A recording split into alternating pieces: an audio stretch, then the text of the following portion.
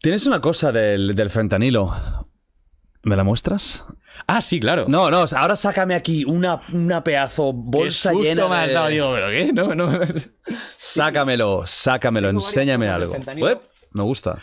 He traído. No, yo no, yo no, mira, te- yo soy muy curioso, ¿eh? y soy- te lo juro que me, que me encanta. Yo he probado muchas cosas por saber lo que es, porque no soy cero adictivo, pero me daría miedo. el No, no, es que es Me para dar miedo. O sea, los opioides son.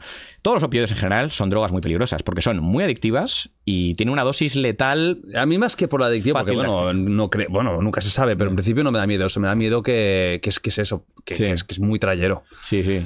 No, a ver, yo creo que en, en dolor son súper importantes, funcionan muy bien. Mm. Sí, sí. Pero fuera del dolor, eh, me parece que son sustancias muy peligrosas, objetivamente hablando. Objetivamente, ¿eh? A todos los criterios. A ver, esto es un poquito de fentanilo para que le meta. va, No sé a qué cámara lo apunto, si alguna. Dámelo, que, te- que Sí. lo enseño yo aquí.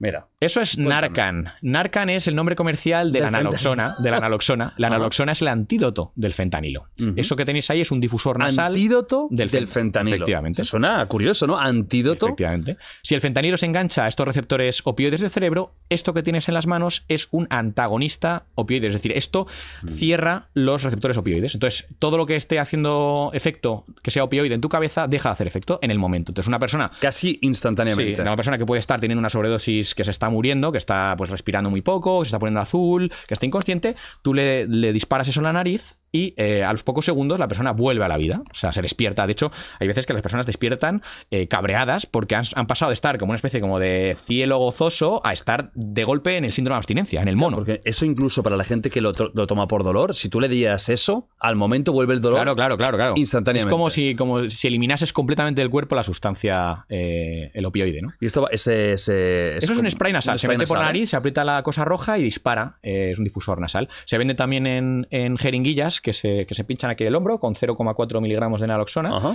Y se utiliza, pues eso, sobre todo lo llevan ahora a día de hoy en Estados Unidos los eh, médicos, los policías, los bomberos, los, los first responders, ¿no? Los En un primeros caso respondientes. extremo. Oye, ¿y si esto se toma sin fentanilo? No lo haré, por supuesto, pero imagínate que lo hiciera ahora, ¿notaría algo? ¿O me No. quedaría igual? No, no pasa, no pasa o sea, no pasa mucho. De hecho, eh, gracias a, a que no es una sustancia que cuando se toma eh, sin problema, o sea, sin haber tomado nada, gracias a que esta sustancia no hace nada pernicioso, digamos, en el cuerpo, se ha, se ha empezado a vender ya en supermercados en Estados Unidos, ¿Pero da en máquinas efecto? O sea, expendedoras. eh, no, que yo sepa, ¿notaría no. algo? Que yo sepa, no. No. Que yo sepa, no. O sea, a lo mejor sí que da, yo que sé, algún mareo, alguna cosa así, pero, pero que yo sepa, no, no tiene un efecto. Precisamente, insisto, gracias a eso se está pudiendo vender a día de hoy en supermercados, en máquinas expendedoras, en la calle, en Estados vidas, Unidos. claro. Eh, hay gente incluso que lo grapa a los árboles en la calle Qué para bueno. que siempre esté a mano de bueno. por si alguien le da una sobredosis. Pero, pero por fortuna no es una sustancia que sea tóxica si se toma, bueno. si te equivocas. De hecho, yo soy voluntario en SAMUR Protección Civil en Madrid y voy muchas veces con las ambulancias cuando vamos a algún aviso. Y si llegamos a un aviso de que hay una persona intoxicada eh, y muestra signos que podrían ser compatibles con estar sufriendo una sobredosis de un opioide, ante la duda se da el. el, Y si el- no, mira, tío, si has al equivocado, pues ya está. Eso- eso también para Pero no heroína sirve. nada. Sirve para heroína, sirve para fentanilo, sirve para morfina. Vale. Eh, es un antídoto. De hecho, hay muy pocos antídotos en, en el mundo de las drogas que realmente funcionen efectivamente. este Este no es uno de ellos y otro es bueno, el, el flumacenil, el flumacenilo, que es el, el que se utiliza para las sobredosis, eh, las sobredosis de benzodiazepinas también. Creo que es flumacenil, espero no equivocarme, pero Ah. Ajá. creo que se llamaba así.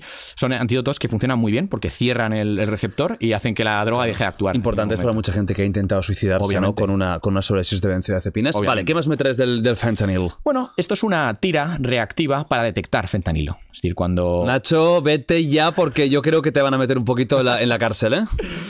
Esto se utiliza eh, fundamentalmente para aquellos consumidores que están consumiendo opioides, o sea, que ya están en mucho riesgo de, de tomar fentanilo sin querer, generalmente, y que quieren tomar heroína o lo que sea y están tomando heroína, para que puedan detectar si la muestra de heroína que han adquirido en el mercado contiene o no fentanilo. Coño. Porque, como te digo, el problema, el principal problema del fentanilo de- de- en un principio era eso, que se estaba metiendo en muchas cosas que no eran fentanilo. La gente no estaba pidiendo fentanilo, la gente pedía heroína.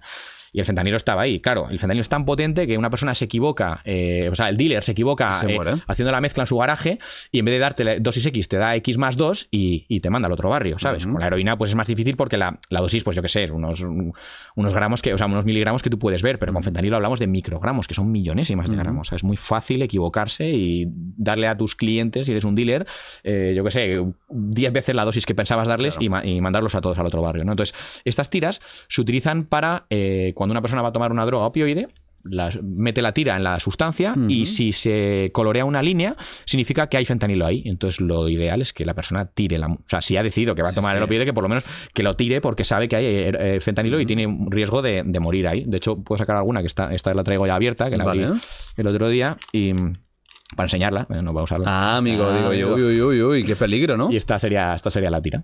Vale. Es una tirita, se mete, se sumerge y, te- y se colorea una línea aquí. Y ya sabes que si se colorea es que hay fentanilo ahí. Malamente.